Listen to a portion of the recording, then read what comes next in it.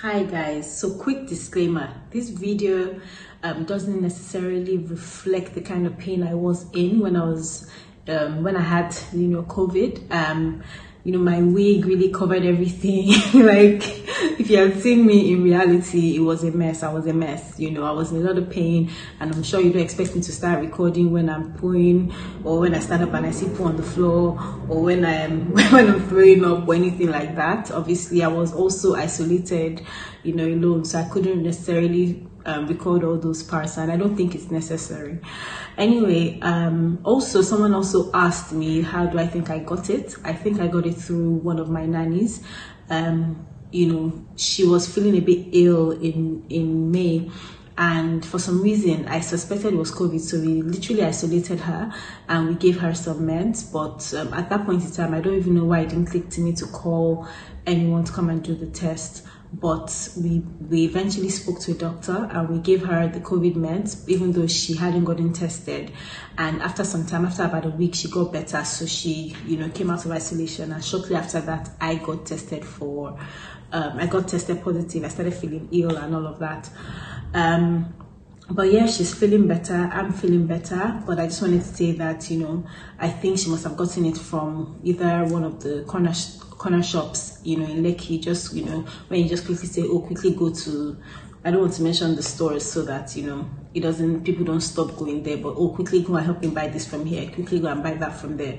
And the funny thing was she wore her mask, she wore a shield, she was very educated, she was an educated nanny, so I know she didn't take things for granted. She also had gloves and all of that. So um, my advice is just limit your, um, when you when you tell your staff to go out, if if possible, just try to go and buy the things that you need by yourself because I'm sure you know that you'd be extremely careful so that it doesn't come to meet you at home when you know you're trying to be careful. You have everything, you have Lysol, you have Clorox, you have sanitizers, you have all kinds of things but you know it will still come and meet you at home. So just try to be careful. So like i said this video doesn't really reflect the pain i was in.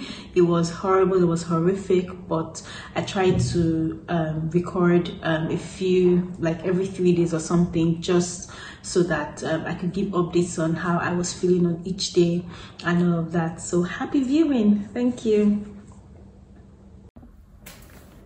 Hi everyone, my name is Ife Durosinmi-Etti. So about, I think a week ago, I started feeling weird. You know, I started feeling, you know, tired and, and all of that.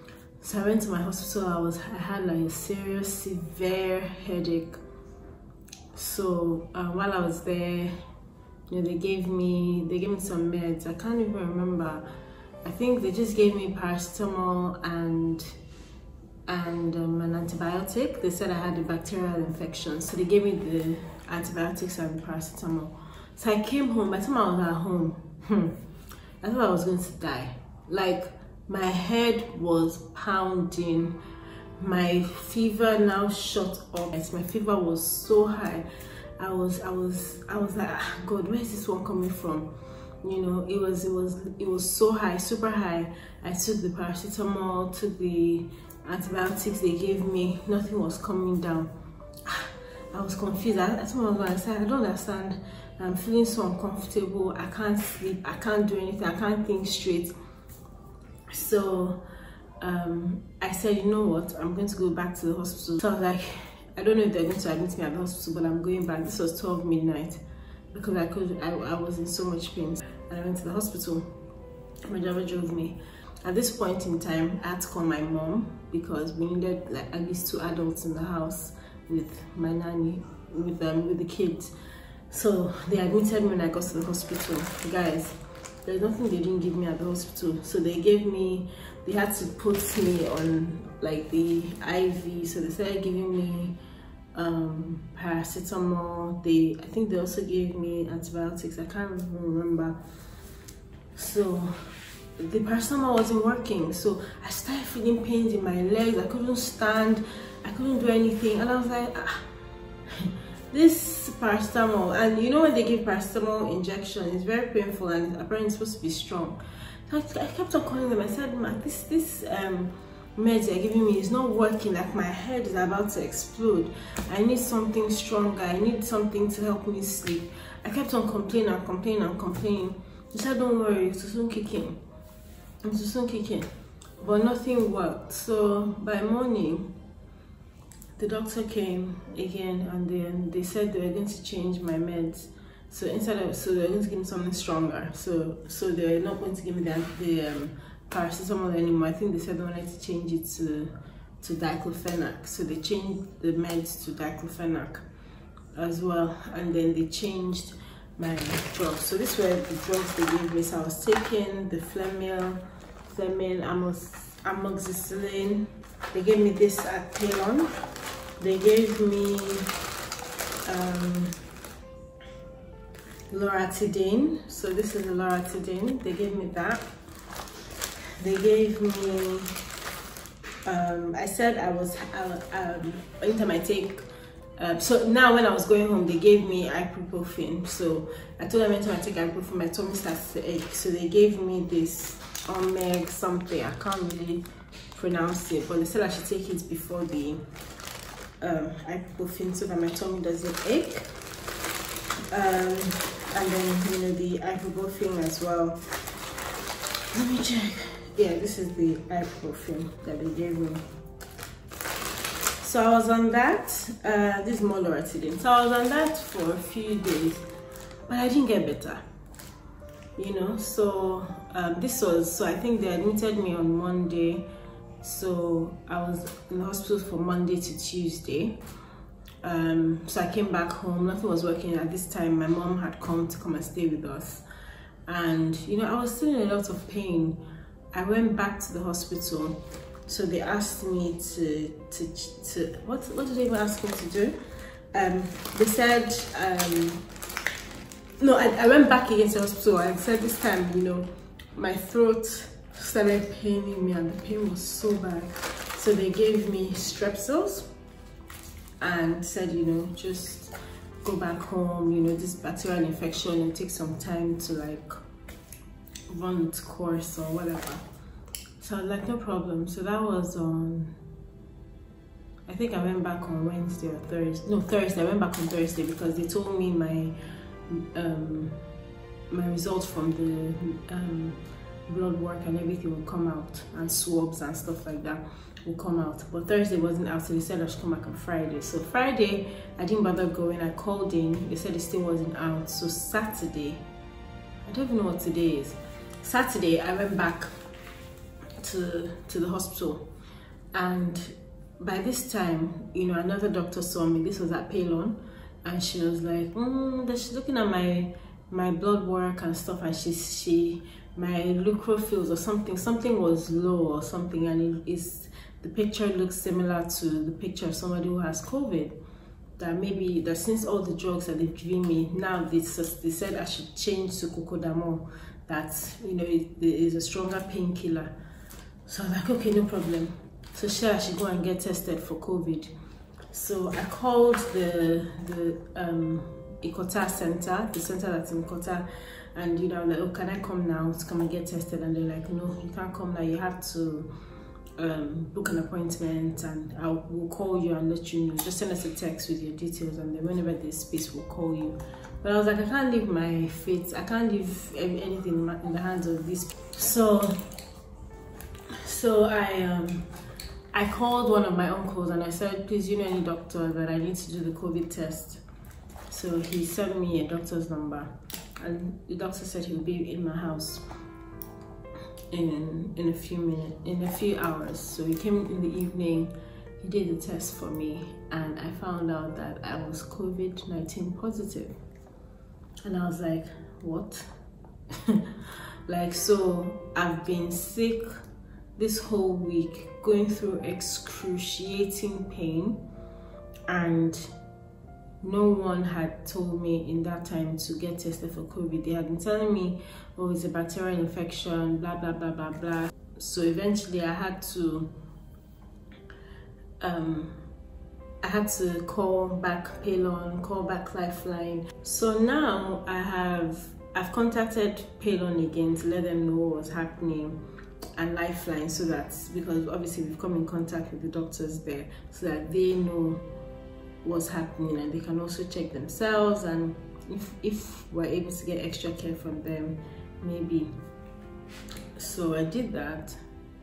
And i have so i've so they asked me to buy few meds. So in between because the sore throat was so bad i had to buy these as well on my own and i had to buy a sleeping med which was recommended by one of the doctors i spoke to so this is what this was it. I had to buy this so that it could help me sleep. So that's the end of this this part so obviously they've been giving me the wrong meds. So now that um, I found out that I had COVID, so I spoke to doctors. First, the doctor in Paelon even told me that I would be able to get medical care, um, a palliative or like a package of all the things you need, like the zinc and everything. But eventually he said, oh, I couldn't because I didn't get tested by NIMR or any of the confirmed places where I, where I could get tested. So I've had to go by myself with um, to get my the drugs that are necessary to help with COVID. And it was recommended by one of the doctors that I spoke to. So they asked me to buy Zithromax. So I've been I've been using that since yesterday. I had to buy Methodex. By the way, this drug, when I when I take it, it, it feels like I'm drinking fire.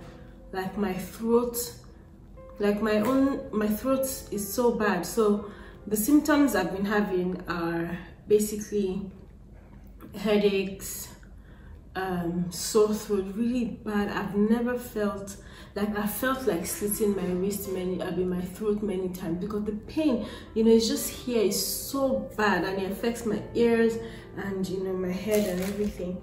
So but anytime i take this no matter even if it feels like fire i feel um, more relief after.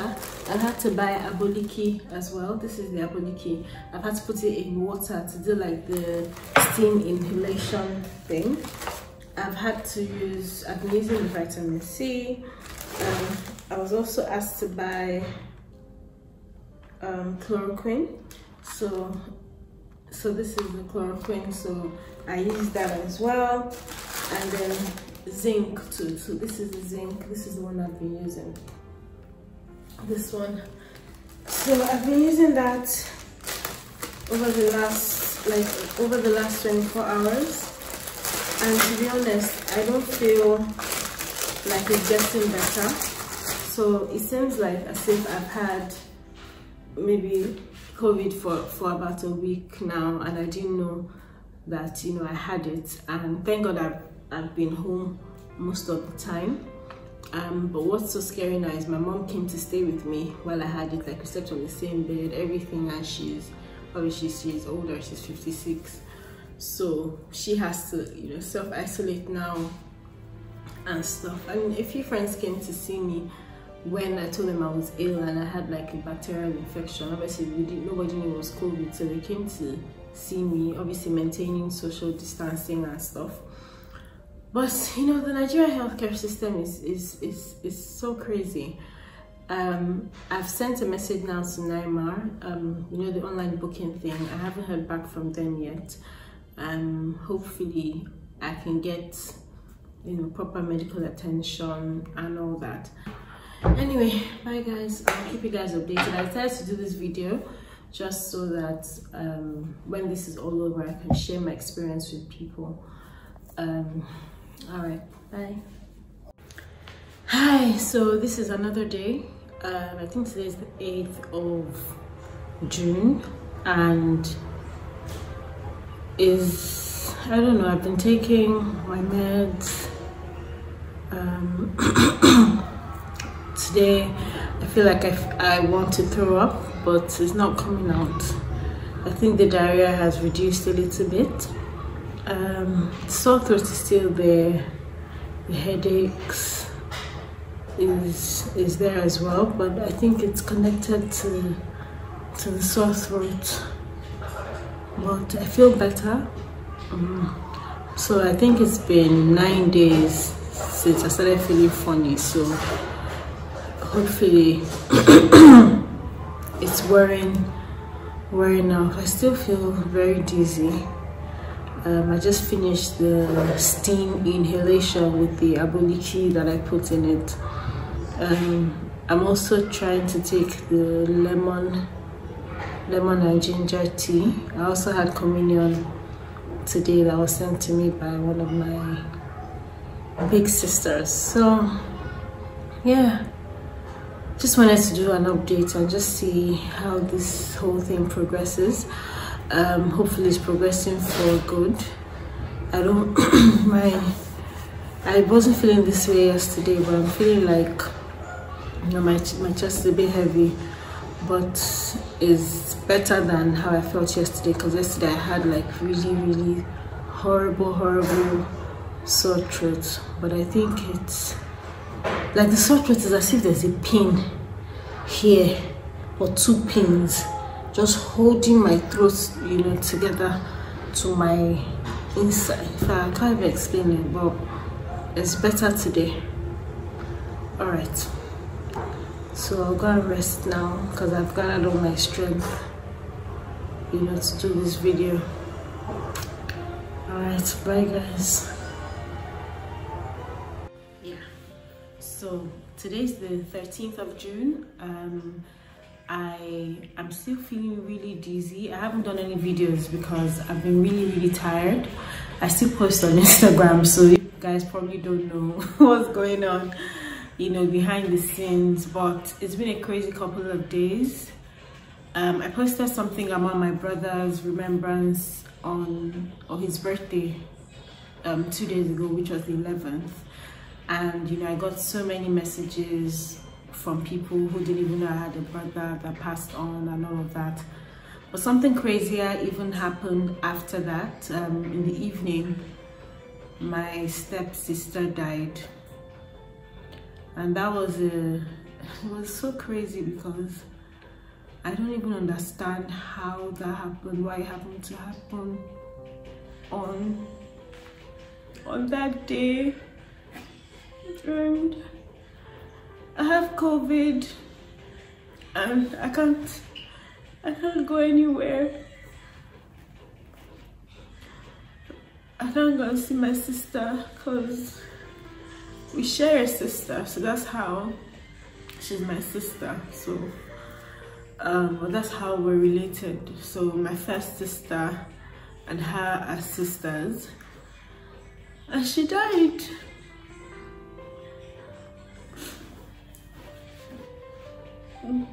Anyway so I've not had it in me to do any videos or anything. It's just been crazy. Anyway today I went to NIMR and um, we couldn't do the test. So we got there we got there quite late though and there were a lot of people outside and they said they could only attend to health workers that had been there so we couldn't go in but i also decided to go and see see my sister my big sister. But i couldn't come down from the car. Um one man i stayed in the car and you know just went to say hello and just um it's been a crazy couple of days. Um i'm still feeling weak. I don't i don't have the fever anymore. I don't have the headaches but I can't do much. Um, yesterday I had a live session with Pastor Godman and in between I started feeling weak and dizzy but I, I stayed on till, till the end. I still feel really weak. I was supposed to have a masterclass today, um, the Global Opportunities Masterclass, but I had to cancel it as well because I wasn't feeling up to it. Um, I can't talk for more than an hour and that masterclass probably lasts about four hours and coupled with the fact that I don't have I'm not the right mind space because of um, Sister Fumi. May her soul rest in peace. You know, I was going to my own hospital. I went a couple of times and I'm not trying to even badmouth anyone, but I, I went a couple of times. I was going like every two days and they're telling me if I go back home, you're fine, there's nothing wrong with you, you know, you have a bacterial infection, just take these meds and you'll be fine. And no one told me to test for COVID. And you can imagine if I had an underlying issue or anything like that, maybe I would have died, God forbid. Maybe anything would have happened, but nobody took it as seriously. I was in so much pain, body aches, everything. And everything I took wasn't working from paracetamol to ibuprofen to diclofenac to cocodamol nothing worked. And no one said I should test for COVID. Eventually um, on on the last day someone the doctor said oh that my picture looks like the picture of someone who has COVID that I should go and get tested for COVID. And there was no one ready to test me so I had to get privately tested so you can imagine if I didn't get that. In fact, from the hospital, I called my friend in America who had it. And I started telling her how I was feeling. And she's like, yo, Ife, you have COVID. Because she, I, she was, I was feeling the exact same way she was feeling. But Nigeria is so crazy. We don't have the right systems in place. We don't have anything in place. People are dying every day and and stuff. So I just came back from NIMR and I had a bit of energy. Even though I was feeling dizzy just walking up the stairs just now but I decided to give an update.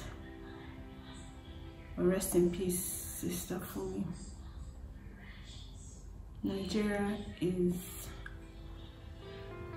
ah, God help us. Imagine you wanting something all your life you actually finally get it and then you die before before you see your baby. All right. So today is monday um the 15th of of june. Um it's bam bam's birthday.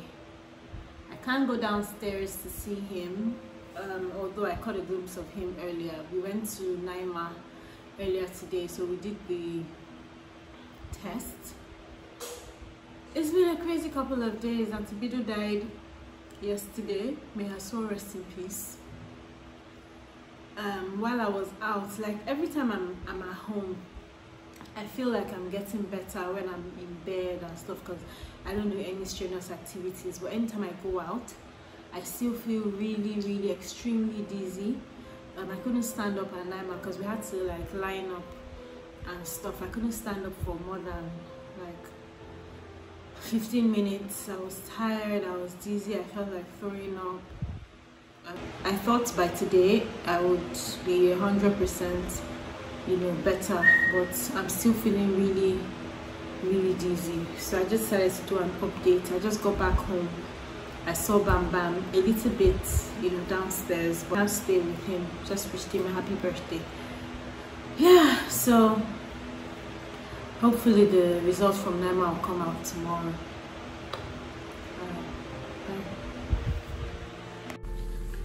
So today is the 18th of June. Um, yesterday night was horrible.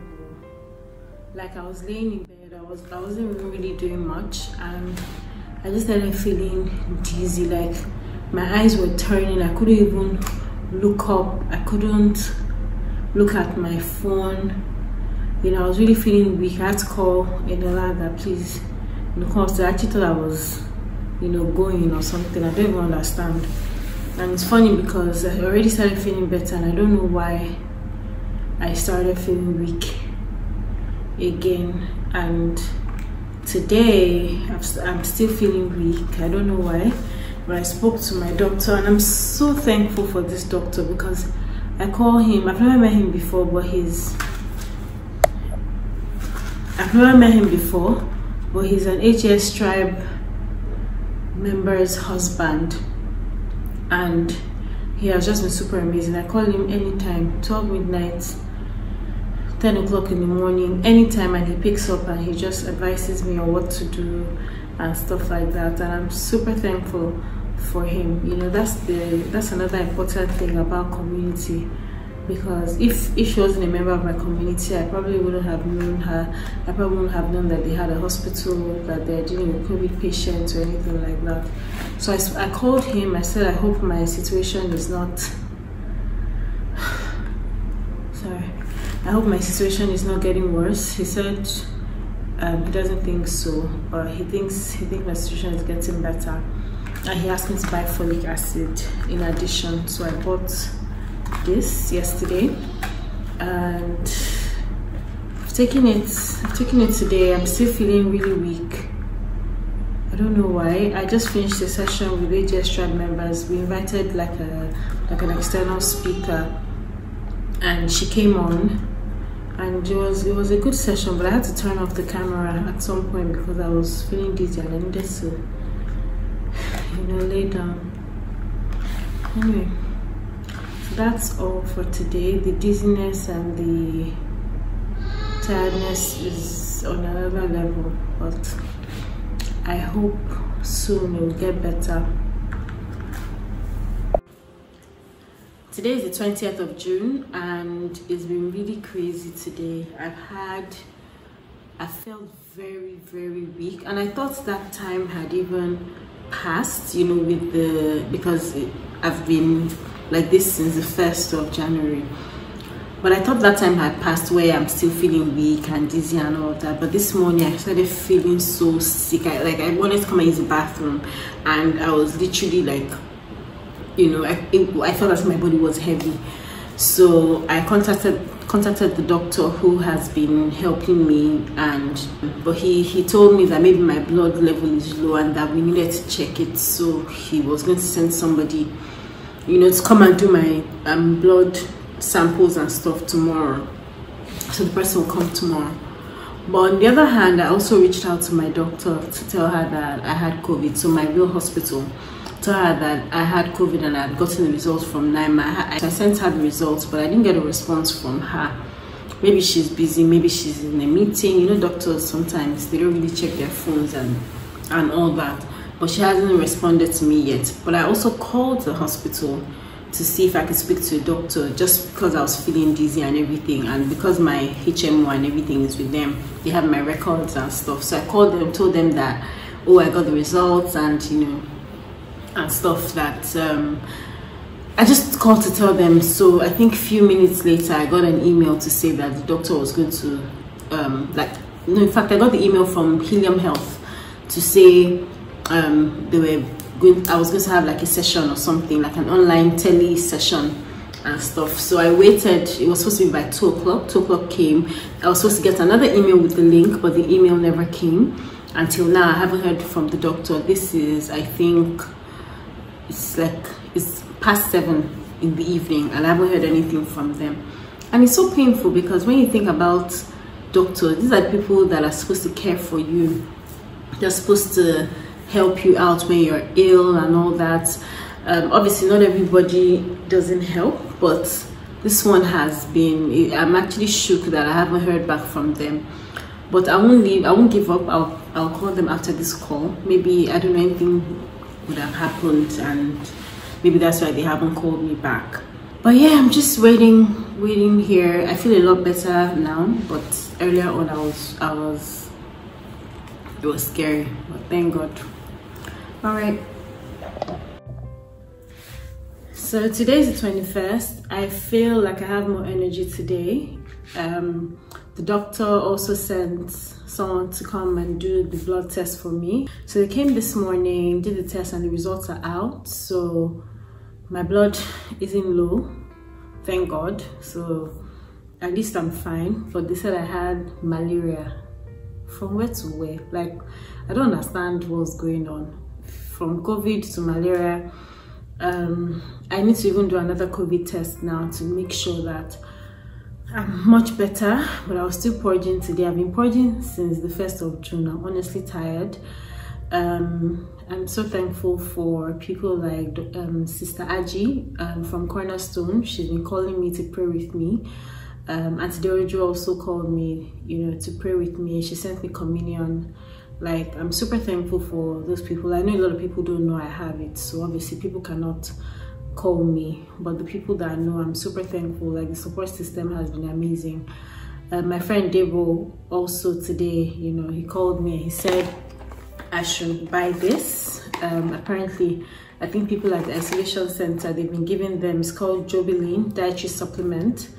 So it cannot do any bad to me anyway. So I'm going to use it today and I'm just going to continue using it till I do another test for COVID and it comes out negative. So I tried to do makeup today, see? but yeah, hopefully, you know, it all stops. Like there's too much bad energy going on, bad news. Um, one of my mentees passed on, I, th um, I think Saturday night till Sunday morning. Her husband killed her and I just heard this morning. So it's been it's been such a sad day. And I just pray that, you know, all this just ends. Like I don't know what we did, but God please just we're sorry. This just needs to end. Since I've had COVID, there's so many people that have died, so many people, you know, ill, so many bad things happening. But we're sorry, God. Please just help us. Have mercy.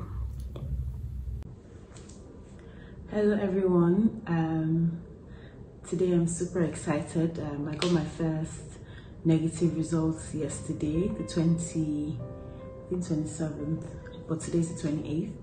Um, I'm super excited that you know I'm now free from corona. Um, it was such a horrible, horrible, horrible experience that you know I don't wish anyone to have. Um, I still feel dizzy sometimes, I still feel weak sometimes and all of that, but I'm happy that it's gone. Um, I just wanted to also um, talk about the psychological um, effect of corona as well a little bit. I just wanted to touch on it a little bit. Um, you know, um, this whole time, you know, it didn't click to me that I actually probably had my bath maybe three times in the whole of June um, I didn't even realize that that was what was happening. I was, I was literally just waking up, sleeping whenever, you know, it was evening or like, I didn't even know what day was what. Like, it was so bad. There was a day I even felt like hitting my head on the wall just so that I could feel pain or just feel myself.